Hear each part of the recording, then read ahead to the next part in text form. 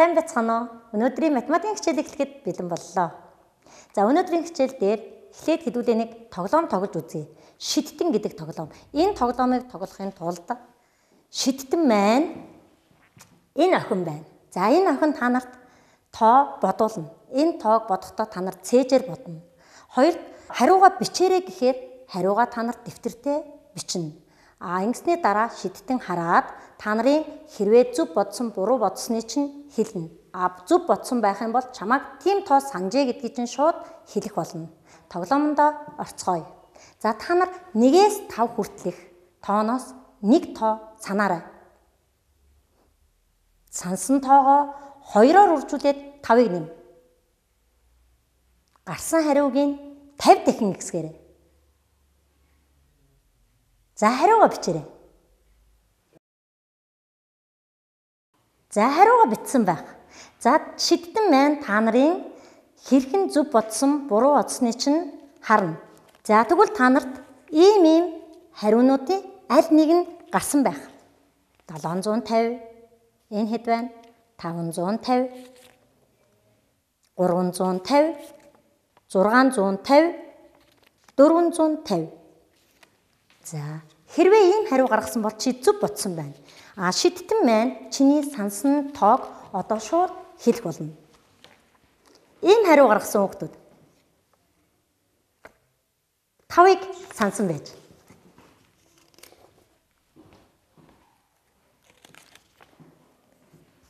Ийм хариу гаргасан бол хоёрыг сансан. 650 гаргасан хүмүүс дөрвийг сансан.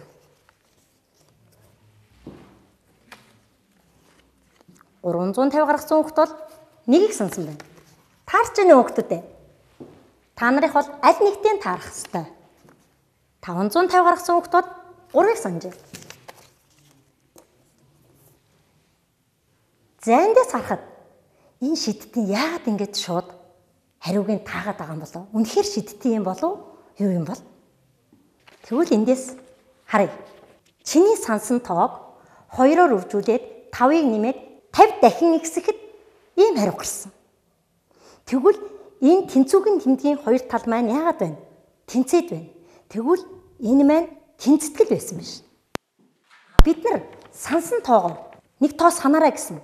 Тэрнийг олоогүй байгаа тохиолдолд гэж бичиж байгаа нь тэгштгэл. Тэгвэл өнөөдрийн бидний хичээлийн сэдэв маань тэгштгэл, тэнцэтгэл биш. Энэ тэгштгэл ба тэнцэтгэл бишийг математикт хэрхэн бичдгийг түүнийг ер нь бодит амьдрал дээр бид нар ямар зүйл дээр хэрэгэлдгийг гэдгийг мэдэж аваад өнөөдөр тэгшдэглүүдийг бодох арга аргачлалуудыг мэдэж авнаа. За багш нь нэг туршилт хийж үзье. За энд хоёр тавхтай жинлүүр байна. Энэ тавган дээр нь юу ч байхгүй байна. За тэгвэл энэ хоосон байгаа хоёр тал нь байхгүй гэдгийг бид нар тэгээр тэмдэглэдэг. За тэгвэл багш нь энэ загварчлаад гэд биччихье. За энэ маань тэгвэл юу вэ?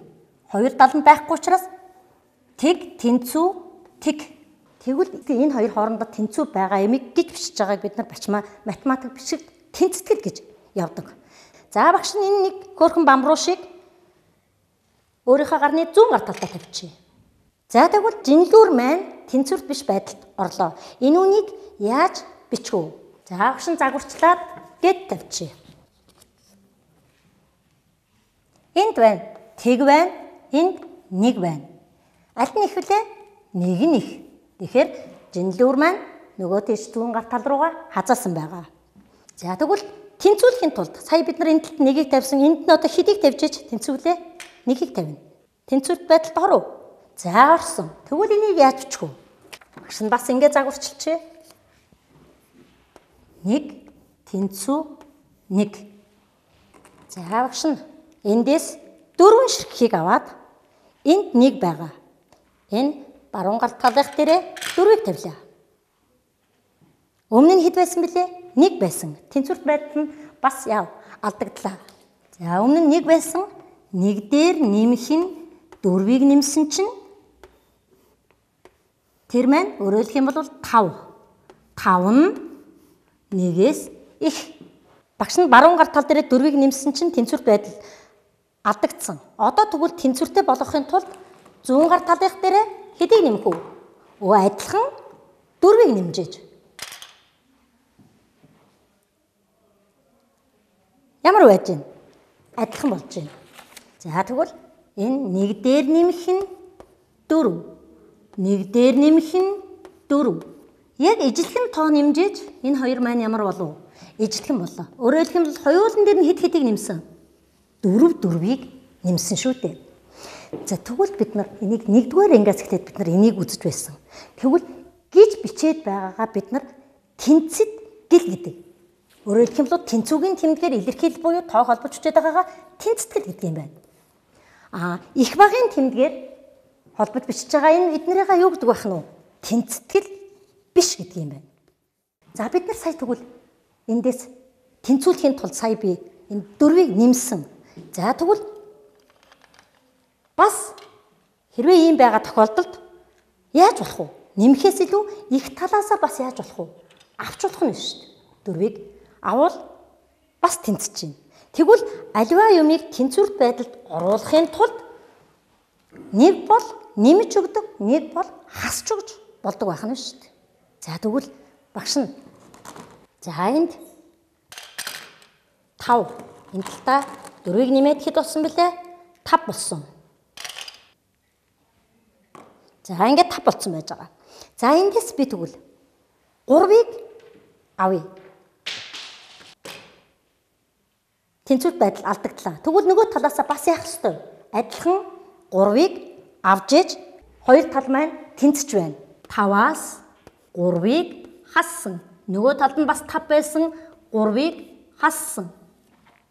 Өөрөөр хэлбэл яг ижил тоо яагаад байна? Хасч өгөөд байна шүү дээ. Тэгвэл тэнцэж болдго юм байна. Тэгвэл ижил тоогод үржүүлж болдго болдго юм болов тэгэхээр тэнцдэг юм уу гэдгийг бас эндээсээ үзье. Энд хоёр байгаа. Энэ хоёр байгааг 3 дахин ихсгэе. За энд нэг байгаа. Дахиад хоёрыг нэмлээ. Дахиад хоёрыг нэмээ. 3 дахин ихсэх хэрэгэд болчихоо 6 болсон. За нөгөө тал дээр нь мөн 3 дахин. За энд нэг нэг байна дахиад 2 дахин ихсгэлээ 3 дахин ихсгэлээ. Одоо ямар байл? Ижлэх юм болж байна. Тэгвэл 2-ыг 3 дахин гэсэн. Нөгөө талыг бас 2-ыг 3 дахин гэсэн. Тэгвэл хоёр талыг хоёулангийн ижил тоогоор үржүүлж өгөхөр тэнцдэг юм байна. За хувааж өгвөл яах нь вэ? Харъя. Тэгвэл энд 6 6-гээ тэнцүү байгаа юмныг би хоёр дахин багасгая. Хоёр дахин багасгах гэхээр би хэдийг авах вэ эндээс? 3-ыг авчна. Нөгөө талаас нь бас хоёр дахин багасгая. Дахиад 3-ыг авлаа. Энэ хоёр ямар байдалд орж байна? Тэнцүү байдалд орж байна. 6 байсан юмгаа бид нар яаж байна? Хоёр дахин багасгасан. 6-гаа хоёр дахин адилхан багасгасан. Бас яв хоёр хувааж өглөө. Тэгэхэд тэнцвэрт байдал нь алдагдахгүй байна. За эндээс харахад тэгвэл ямар дүгнэлт хийж болохоор байна. Тэнцэтгэлийг үнэн байлгахын тулд тэнцүүгийн тэмдгийн хоёр талд нь ижил үйлдэл хийхэд тэнцүү байдлаа хадгалж байна. Үүнийг тэнцэтгэлийн үндсэн чанар гэдэг. Тэгвэл бид нар энэ тэнцэтгэлийн үндсэн чанарыг ашиглаад тэгштгэл хэрхэн бодох уу гэдгийг өнөөдөр бид нар цааш нь авч үзэх ёстой байгаа. За багш нэг бодлого бодуулъя. За энэ жинлүүрийн нэг тал дээр нь хоёр бөмбөрцөг, нэг цилиндр. А нөгөө энэ нь 1.17 кг-та тэнцүү байсан юм байна. А нөгөө жинлүүр дээр нь болохоор нэг бөмбөрцөг, нэг цилиндр нь 1 кг болоод гэсэн юм байна. Энэ бодлогыг яаж утгах вэ гэж байна. За тэгвэл багш нь энэнд нь давччихэл хийгээвэ. Хоёр бөмбөрцөг, нэг цилиндр С үсгээр биччихье. Тэнцүү 1 бүхэл 10.7 кг. За нэг бөмбөрцөг, нэг цилиндр 1 кг. За тэгвэл эндээс бид нар яаж бодож болохоор вэ? Нэг бөмбөрцөг, нэг цилиндр нь энд байна уу? Байна. Тэрнийг авчих юм бол энэ хоёрын зөрөө ямар байна? Тэг бол 10.7 байна шүү дээ. Зөрөөгийн тооцчих. Энэ нэг бөмбөрцөг нь тэнцүү тэг бүхэл 10.7 кг-та тэнцүү байна. Гэт бөмбөрцгийнхаа хэмжээг яаж болох нь олчиж болох нэ. Тэгэхээр нөгөө хэрвээ өгөгдсөн юм дээрээс ижил зүйл авчих юм бол хоёулангаас нь адилхан хэмжээтэй юм авахар тэнцдэг юм а гэдэг нь эндээс харагдаж байна. За түрүүн багш нь дандаа ижилхэн ийм хөрхөн бамруу шүү тавиад байсан. Одоо би нэг тал дээр нэг өөр зүйл тавилаа. За гэнт л хоосон байгаа юм чинь мэдээд тэнцвэрт байдал алдагдсан байна. За нөгөө тал дээр нь багш нь 10 ширхгийг бамруулж тавиадах юм. За 5. За 5-ыг тавьсан чинь тэнцсэнгүй. За 10 ширхэг бамруулж тавилаа. Өө тэгсэн чинь игтчлээ. Одоо энэний жинг яаж болох вэ? Өөрөөр хэлэх юм бол энд нэг юм мэддэхгүй нэг юм байгаад байна. За тэрнийхээ ингээд дөрвөлж ингээд тэмдэглэж. Тэр маань энд 10 ширхэг бамруулж тавьсан чинь тэнцэхгүй байгаад байна. Тэгэхээр энэний жин ямар вэ гэдгийг олохын тулд багш нь энд бамруулснаасаа яаж болвол энэ хоёрыг тэнцвэр байдалд оруулах вэ? Энэ дээр нь нэмэх хэрэгтэй. За нэгийг нэмлээ. Хоёрыг. Гурвыг. Өө яач вэ? Тэнцчлээ шүү дээ. Тэгвэл нөгөө мэддэхгүй байсан юмн дээрээ гурвыг нэмсэн чинь 10 болчлоо. Тэгвэл энийг бид нар нэгдүгээр ингээс эхлээ үзчихсэн шүү дээ. Энэ юу вэ? Тэгвэл тэгштгэл маань бид нарт бодит амьдрал дээр ийм юмн дээр л хэрэгжилж явдаг юм байна шүү дээ. Тэгвэл энэ үнийг олохдоо бид нар яаж олдог вүлээ? Мэддэхгүй байгаа нэг гişүнийг олохдоо нөгөө мэддэж байгаа хоёр гişүнээр нь илэрхийлээд олцдог. Тэгвэл энэс арай өөр аргаар багш нь бас бодож үзүүлье. За тэгвэл энэ үнийг олохын тулд багш нь эндээс гурван бам руу шавчих. Тэгэхээр нөгөө мэддэхгүй байсан зүйл маань үлдчихлээ. Тэгвэл нөгөө талаасаа бид нар бас адилхан яах ёстой. Өөрөлдөл багш нь энээс гурван бам руу сая хасчихсан. Одоо тэгвэл энэ 10-аасаа бас яах ёстой? Яг адилхан. Гурван бам руу шиг хасчлаа. Тэгвэл одоо энд яасан? Нөгөө бидний мэддэхгүй байсан зүйл маань долоотой тэнцүү байсан юм шиг. Нараа багш нь бүр өөрхөн юм долоогийн тоо шүү дээ. Энэ бүр тоогоор нь ингээд үзүүлсэн. Долоотой тэнцүү. Энэ долоогийн тоо маань долоон бамруучтай тэнцүү байсан шиг. Тэгвэл гэж нөгөө тэнцэтгэлийн үндсэн чанарыг ашиглаад гэж бас тэгштэглийг бодож болтго юм байна. Дэлгэц рүү анхаарлаа хандуулаарай. Саяхаа тэнцэтгэлийн үндсэн чанараа ашиглаад цээжээрээ бүгдөө бодцгоё. Хүснэгтийг харсан чинь үржигдэхүүн үржигдэхүүн үржвэр гэж байна. За эхнийх нь нэгдүгээр үржигдэхүүн нь мэддэхгүй байна. Нэг үржигдэхүүн нь 5, үржвэр нь 2055 байна. За бид нар мэддэхгүй үржигдэхүүнийг олохдоо яаж олдог вүлээ? Аа саяхаа үндсэн чанарыг ашиглавал Өөрөөр бол 5-д 5-аар үржиж өгж байгаа юм чинь 5-д яагаад өгчих вэ? Хоёр талаа хуваагаад өгчихнө. Хэд гарах вэ? Муу 411 гэж шүү дээ. За тэгвэл хоёр дахь дээр муу адилхан яаж болохоор байна? Бас хуваагаад өгчих болохоор шүү дээ. Та нарын хариултаа таарч байна уу? За энд болсон ч хуваагдагч мэдэгдэхгүй байна. Өөрөөр хэлэх юм бол хэдийг мянгад хуваахад 780-аас гарах вэ гэж байна. Энийг олохын тулд одоо яаж болох вэ? Өөд шүү дээ. Үржээд өгч шүү дээ. Хувааж байгаа юм чинь үржээд өгсөн байна. За одоо энд хуваагчиг болохдоо яаж болох вэ? Өөдтэй яа. Хуваад өгсөн. Гээд бодож чадах нэ. За энэ бодлогыг уншаад тэгштэл зохиож бодъё. Хүү өөрт байгаа мөнгнөөсөө 1500 төгрөгийн үнэтэй дэвтрээс дөрвийг авахд 2500 төгрөгтэй үлдэв. Хүү данх хэдэн төгрөг байсан бэ? За энэ болгыг бол та нар амархан бодож чадна. За энийг тэгштгэлээр бичье. Хүүгийн мэд анх байсан нь мэдэгдэхгүй байгаа. Тэгвэл X-ээр тэмдэглэжье. Тэр мөнгнөөсөө 1500-гийн үнэтэй дэвтэрнээс хэдийг авсан гэсэн? Дөрвийг авсан гэсэн. Тэгэхэд хүүд 2500 төгрөг яасан гэсэн? Үлдсэн гэж. Тэгвэл энэ тэгштэглийг бодъё. Энийг бодохын тулд бид нар яаж бодох юм? Өөрөөр хэлэх юм бол авсан дэвтэрнийхээ үнийг олчж болно. Тэгвэл X X-ээс хасах нь хэд вэ? 6000. Тэнцүү 2500. Одоо бид нар нөгөө хасагдагч нь мэддэхгүй байна. За өөрөө олж бодно. Мөн саяынхаа нөгөө тэнцэтгэлийн үндсэн чанарыг ашиглавал энэ 6000-ыг яаж өгч юм? Энд тасч өгж байгаа юм чи энэнийг байхгүй болохын тулд яах юм? Нэмээд өгч. Тэгвэл нөгөө тал дээр нь бас нэмээд өгчин гэсэн. Тэрнтэй адилхан учраас одоо энд яах вэ? X тэнцүү 2500 дээр 6000-аа яагаад өгчих вэ? Нэмээд өгчин. Ингээд хүүд анх хэдэн төгрөг байсан бэ? 8500 төгрөг. Бажээ. За тэгштэй бодохдоо бид нар доогуур нь зурдаг, шалгах шаардлагатай. Тэгвэл үнэн байна уу гэдгийг хүүд 8500 төгрөг байсан.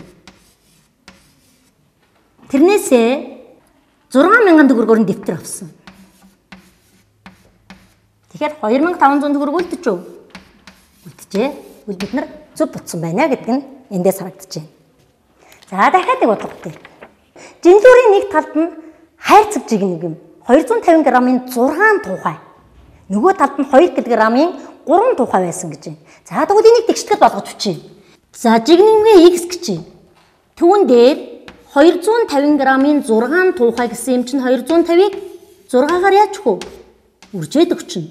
А нөгөө талд нь болохоор 2 кг-ын 3 тухай гэж байна. Энэ болохоор грамм байсан энэ килограмм учраас бид нар ижил нэрээр илэрхийлэхийн тулд энэ 2000-ыг үрчгэн 3. За одоо тэгвэл харъя. Энэ юу болох вэ? X дээр нэмэх нь энэ хоёр нийлээд хэд вүлээ? Энэ 1500 грамм болж байна. Нөгөө тал нь хэд байна? 6000 грамм. Одоо тэгвэл жигнэний хажинг яаж болох юм? Бид нар боддог аргаараа хасаад олчж болно. Тэнцэтгэлийн үндсэн чанарыг ашиглаж бодож болох нь. Энэ хэд харах уу тэгэл 4500. Тэгвэл жигнэгэн маань 4500 грамын жинтэй байжээ. Бас шалгаад үзэж болно.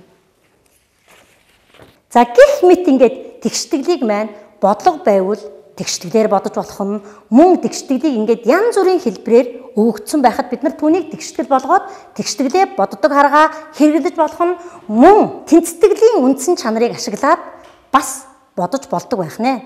Гэрийн даалгаварт энэ хоёр тэгштэглээ бодоод дээрэс нь багшийнхаа дэлгэцэн дээр тавьсан энэ тэгштэглүүдийг гэртээ бодож ирээрэй. Өнөөдрийн хичээлд идэвхтэй оролцсон сурагчдаа баярлалаа. Баяртай.